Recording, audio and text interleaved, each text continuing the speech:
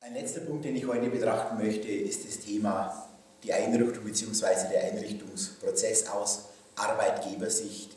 Ja, wie läuft das aus? Ähm, die Arbeitgeber bekommen ja im ersten Schritt einmal die pauschal die Unterstützungsklasse vorgestellt, lest in verschiedenen Medien, zwischenzeitlich kann man fast in allen Zeitungen überall über das Konstrukt lesen oder erfährt es in Vorträgen oder von Unternehmerkollegen.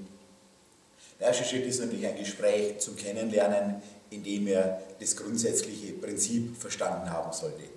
In einem zweiten Gespräch geht es darum, das individuell für ihn zu planen und vorzustellen, beziehungsweise individuell auf ihn anzupassen in den groben äh, Grundstrukturen. Das ist auch das Thema ähm, oder der Zeitpunkt, in dem regelmäßig eine individuelle Musterberechnung, eine individuelle Konzeptionsberechnung erstellt wird.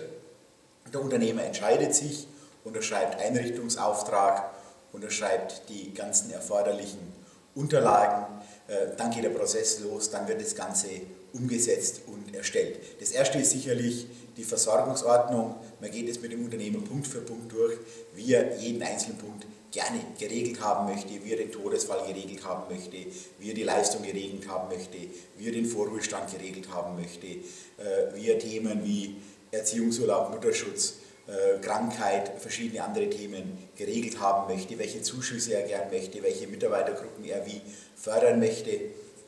Das wird dann letztendlich durch, ähm, durchgesprochen und letztendlich festgelegt.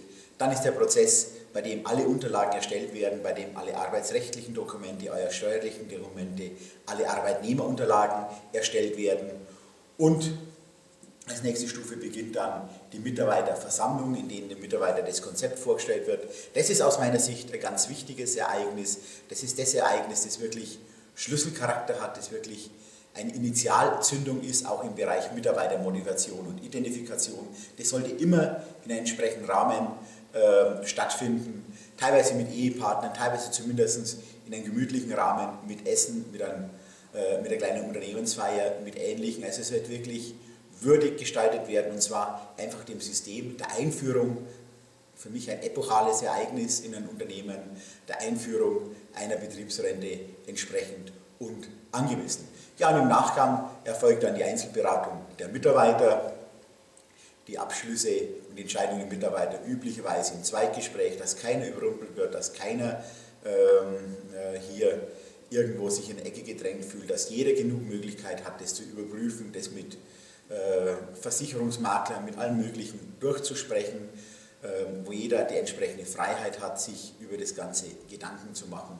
Und dann wird einfach äh, der Abschluss und die Einrichtung auf den Mitarbeiter gemacht. Im Nachgang werden auch diese Unterlagen, diese Dokumente fertig gemacht und dem Mitarbeiter übergeben. Und dann kommt eigentlich der entscheidende Prozess, dann kommt eine langfristige Betreuung, die auch langfristig äh, zuverlässig sein soll, die langfristig fachlich fundiert erfolgen sollte und die einfach ja, gewährleistet, dass das Versorgungswerk wirklich die nächsten 20, 30, 50, 60 Jahre erfolgreich weiterläuft.